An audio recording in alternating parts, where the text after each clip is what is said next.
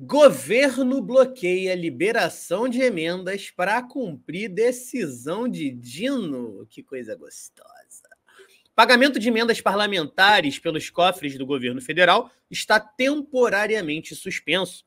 Com o objetivo de cumprir decisão do ministro Flávio Dino, do Supremo Tribunal Federal, a Advocacia Geral da União bloqueou novos pagamentos e empenhos das emendas de RP9, conhecidas como orçamento secreto, e RP8, emendas de comissão, até que haja transparência e rastreabilidade. Bom, é muito maneiro isso, né? Mas será que um dia terá transparência e rastreabilidade? Vamos ver, né? Gostando do vídeo? Então se inscreve no canal, ativa o sininho e se puder ajuda a gente fazendo o Pix, tá aqui na tela. Pode ser 2, 4, 10, 17 milhões, quanto você puder. Obrigada. Dino cobrou em decisão completa a transparência nos repasses de emendas. Abre aspas. O cumprimento das obrigações estabelecidas na decisão deve ser feito com a máxima celeridade para não comprometer projetos em andamento. A Secretaria de Relações Institucionais da Presidência da República pode auxiliar nos trabalhos. Precisa recuperar, inclusive, o remanejamento de recursos que são feitos, fecha aspas, disse a Advocacia Geral da União. A decisão do governo federal ocorreu em uma reunião técnica realizada ontem, terça-feira, dia 6 de agosto, na Advocacia Geral da União para detalhar informações e procedimentos a serem adotados para integrar o cumprimento do acórdão do STF, que considerou inconstitucional o orçamento secreto no Congresso Nacional. A ação é de relatoria do ministro Flávio Dino. Tribunal de Contas da União considerou que as informações existentes acerca das emendas de RP9, que ficaram conhecidas como orçamento secreto, e acerca das GRP8, emendas de comissão, não cumprem requisitos de transparência. Após avaliar dados dos empenhos, o TCU concluiu que as informações estão desencontradas, pulverizadas, o que inviabiliza a transparência. Fecha aspas. Além disso, a Corte de Contas, que é ligada ao Legislativo, afirmou ao STF que as informações das atas em PDF devem ser colocadas em uma planilha. Pô, sério isso? Foda-se, mas isso é óbvio, não é? Não? Pô, os caras não estão planilhando os gastos? Aí é complicado mesmo. Considerou ainda que os, da que os dados, a partir de 2022, deveriam ter a capacidade das aplicações e dos sistemas de trocar dados de maneira segura e automática informações, mas não tem. Há um problema de dados incompletos e os dados anteriores não existem. É, Brasil é bagunça.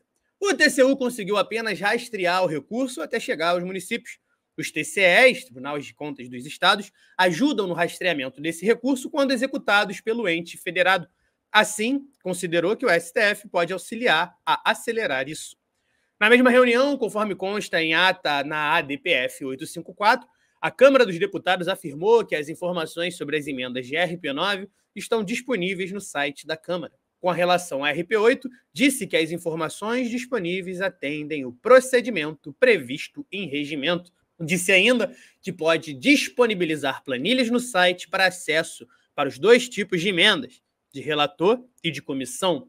O Senado Federal endossou os posicionamentos da Câmara. Foi criada ainda uma comissão para identificar os dados sobre as emendas RP9 e RP8, esse grupo será responsável por mapear informações e apresentar um relatório em nova reunião marcada para o próximo dia 21 de agosto, às 10 da manhã, na sala de reuniões da presidência do Supremo.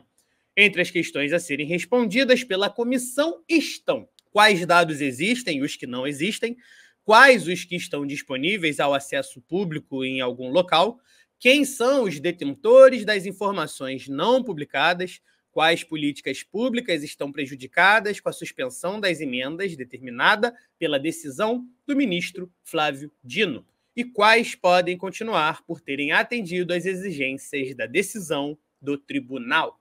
A comissão será formada por representantes da Controladoria Geral da República, Tribunal de Contas da União, Secretaria de Relações Institucionais, Secretaria de Orçamento e Finanças do Ministério do Planejamento e Orçamento a associação e também a Associação dos Membros de Tribunais de Contas do Brasil. Dobradinha do Dino, hein? Porque o nosso artilheiro não para no Supremo Tribunal Federal. Dino rejeita queixa-crime por postagem sobre autores do PL anti-aborto. O ministro do Supremo Tribunal Federal, Flávio Dino, rejeitou nessa segunda-feira, anteontem, queixa-crime apresentada pelos deputados Nicolas Ferreira, Carla Zambelli, Mário Frias, Paulo Bilinski e Franciane Bayer. Meu irmão, que time, hein? Contra a colega Fernanda Melchiona. Meu irmão, junta esse povo numa numa, numa queixa-crime contra a Melchiona. Pelo amor de Deus, deixa Melchiona em paz, trabalhar. Porra, uma das melhores que a gente tem. Eles pedem que sejam apagadas as postagens em redes sociais que trata o PL anti-aborto como PL dos estupradores. O questionamento dos deputados se refere a uma postagem de 13 de junho desse ano da Fernanda Melchiona no Twitter. Na mensagem com o título Esses são os parlamentares que propuseram o PL dos estupradores. A deputada do PSOL expôs as fotos de parlamentares que deram andamento à iniciativa. O PL anti-aborto legal equipara a prática ao crime de homicídio.